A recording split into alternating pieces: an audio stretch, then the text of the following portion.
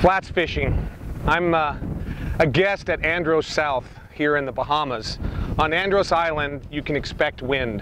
And my friend Andrew Bennett, when he invited me, he said, hey Tim, you know, if you could just help us get more distance in the wind, that'd really be great. So let me just give you a couple, two or three tips. Maybe you'll get a little bit more line speed and that'll give you more distance. So when you're fighting this kind of conditions that we have today, where the wind's really howling, it's critical to get high line speed. And you could either be genetically linked to my brother Steve Rajeff, the world's casting champion. He's a tough guy. He's got big arms. He looks like a fiddler crab. I mean, he's got this like giant arm. Well, if you're not built like Steve Rajeff, then you shouldn't cast like Steve Rajeff. So I'm going to take you through maybe a couple different options for style. And if you use one of those, it might help you with your distance. Let's just start with a couple really quick fundamentals on distance casting. And I'm trying to keep this really simple, so I'm gonna narrow all of these fancy terms down to two things. You ready?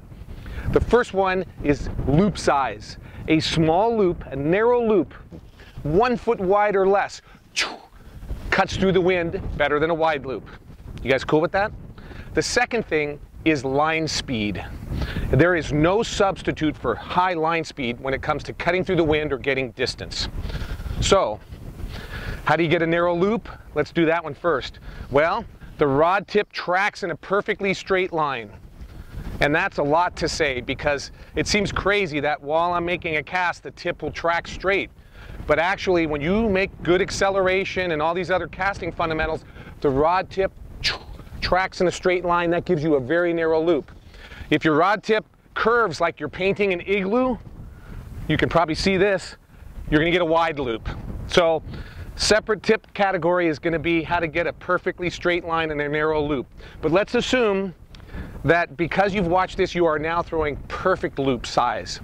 So how do you get distance and cut through the wind? And it's line speed, and that's what we're gonna talk about now. To make a good high-speed cast involves more than just your right hand.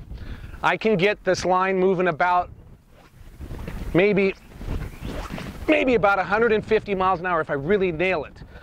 But what I do with my left hand is called the double haul. And you can see it sliding the line back and forth. I pull the line through, pull it. So I can get the rod going 150 with my left hand.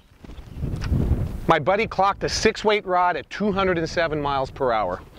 So if you can get your left hand with this double haul movement down, I guarantee you you'll get high line speed. Usually it screws up your loop shape, so you gotta take some casting lessons. But when you're wading the flats here in Andros Island and the wind picks up, you have to learn how to double haul. The double haul motion looks like this. My hand slides down and then it bounces back up. Then as I'm coming forward, I haul.